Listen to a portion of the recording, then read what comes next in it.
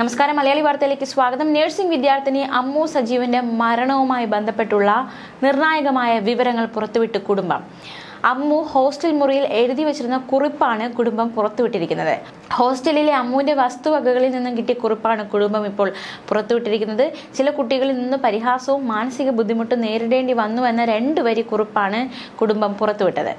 അമ്മു സജീവ് വീണു മരിച്ച പത്തനംതിട്ട വെട്ടിപ്പുറത്തെ ഹോസ്റ്റലിലെത്തി. പുസ്തകങ്ങളും മറ്റ് സാധനങ്ങളും പോലീസ് സാന്നിധ്യത്തിൽ അച്ഛൻ ഏറ്റുവാങ്ങിയിരുന്നു. ഇതിൽ നിന്നാണ് അമ്മു എഴുതി വെച്ചിരുന്ന കുറിപ്പ് കുടുംബത്തിന് കിട്ടിയത്.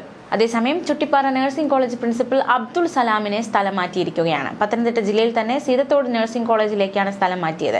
അമ്മു സജീവിന്റെ മരണത്തിൽ ആത്മഹത്യാ പ്രേരണയ്ക്ക് അറസ്റ്റിലായ വിദ്യാർത്ഥിനികളെ കോളേജിൽ നിന്നും സസ്പെൻഡ് ചെയ്തു. പത്തനംതിട്ടയിലെ നഴ്സിംഗ് വിദ്യാർത്ഥിനി അമ്മു സജീവിന്റെ മരണത്തിൽ പുതിയ പരാതിയുമായി കുടുംബം രംഗത്ത് വന്നിരുന്നു. ചുട്ടിപ്പാറ നഴ്സിംഗ് കോളേജിലെ സൈക്യാട്രി വിഭാഗം അധ്യാപകൻ സജിക്കെതിരെയായിരുന്നു അമ്മുവിന്റെ അച്ഛൻ സജീവ് പരാതി നൽകിയത്.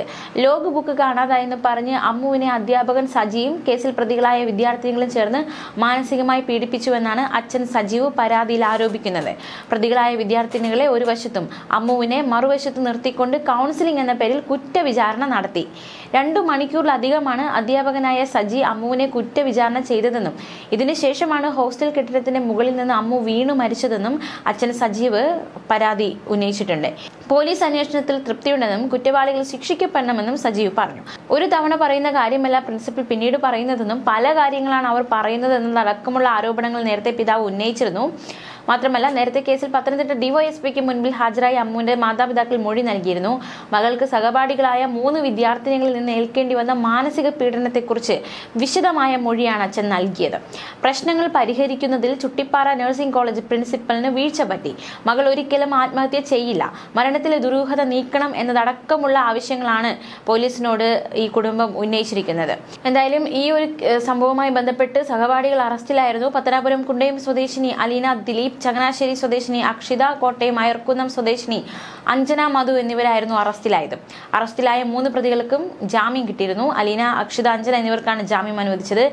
പത്തനംതിട്ട കോടതിയായിരുന്നു ജാമ്യം നൽകിയത്. ആത്മഹത്യാ പ്രേരണ കുറ്റമായിരുന്നു പ്രതികൾക്കെതിരെ പോലീസ് ചുമത്തിയത്. നവംബർ പതിനഞ്ചിനാണ് അമ്മു സജീവൻ ഹോസ്റ്റൽ കെട്ടിടത്തിന് മുകളിൽ നിന്ന് ചാടിയത്. തിരുവനന്തപുരം മെഡിക്കൽ കോളേജിലേക്ക് കൊണ്ടുപോകും വഴിയായിരുന്നു മരണം. തുടർന്ന് അമ്മുവിന്റെ മരണത്തിൽ ദുരൂഹതയുണ്ടെന്ന് കുടുംബം ആരോപിച്ചെങ്കിലും ആത്മഹത്യയെന്നായിരുന്നു പോലീസിന്റെ കണ്ടെത്തൽ. എങ്കിലും അമ്മുവിന്റെ സഹപാഠികളായ അലീന അക്ഷിത അഞ്ജന എന്നിവരെ പോലീസ് അറസ്റ്റ് ചെയ്യുകയും പതിനാല് ദിവസത്തേക്ക് റിമാൻഡ് ചെയ്യുകയും ചെയ്തിരുന്നു. എന്തായാലും അവർക്ക് ജാമ്യം കിട്ടിയിരിക്കുകയാണ്. പ്രതികൾക്കും കോളേജിനുമെതിരെ ശക്തമായ ആരോപണങ്ങളുമായി അമ്മുവിന്റെ അച്ഛനും സഹോദരനും രംഗത്തെത്തിയിരുന്നു. തന്റെ മകൾ ഒരിക്കലും ആത്മഹത്യ ചെയ്യില്ല എന്ന് അച്ഛൻ ആവർത്തിച്ച് പറഞ്ഞിരുന്നു. ന്യൂസ് ഡെസ്ക് മലയാളി വാർത്ത.